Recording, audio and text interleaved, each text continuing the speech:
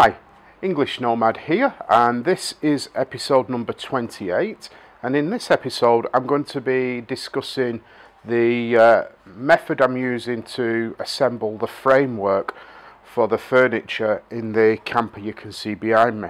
Now, I've opted for a product which is widely available in Australia and the rest of the world, it's sold everywhere. It's, um, it's a system that goes by the name of Qubelok here in Australia. It's also known under the product name Connect It um, through the chain Bunnings, which is like our DIY superstores. And uh, it's readily available. It's a lightweight aluminium extruded box section, um, one inch square, and um, it's got a wall thickness of 1.2 millimeters. Um, and it's joined together using these joiners and they come in all different sorts. So you have like this one which is a two-sided one for corners. You've got another corner one which is three-sided. So as you can see it just slips into there. Another tube will come off here and another tube will come off here. You have one like this which is a five-sided one. They do a six-sided one. They do a four-sided one like this and they do another three-sided one which is like a T. And what that means is it's a very versatile system for building uh, framework uh, because once you cut your aluminium to length and I use the uh, the Makita miter saw here for doing it I've bought a special aluminium um, blade which cuts through this like a hot knife through butter.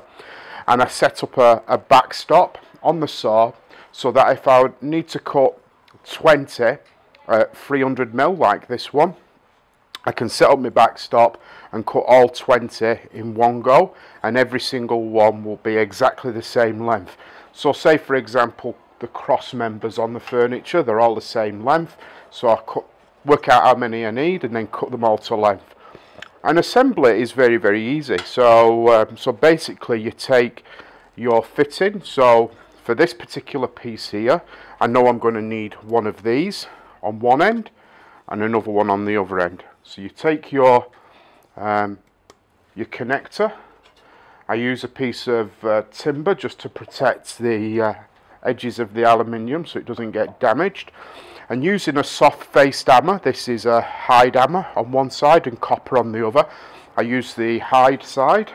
You just gently tap it into place once it's in there it's very very tight. It's not going to come out. And once you've got all your components built together then it essentially becomes locked in place. So it's a very very good system. It's lightweight it's strong. Up to about 600 millimeters it will take quite a lot of weight. Once you get over that it will start to sag. So you've got to construct it in small cubes if you will um, that way it becomes a very, very strong, rigid structure. Um, I really like the versatility of this product and the fact that it's lightweight um, and very strong is a, is a massive bonus for me because uh, weight is an issue as you're aware. I'm trying to keep the weight of this camper down and um, an assembly, I can assemble a piece of furniture in in about once I've cut all the materials in, in less than an hour I can assemble the main framework. So I've already made a start on assembling the uh, furniture inside. So what I'll do is I'll um, I'll put together a photo slideshow of the um, of the build process.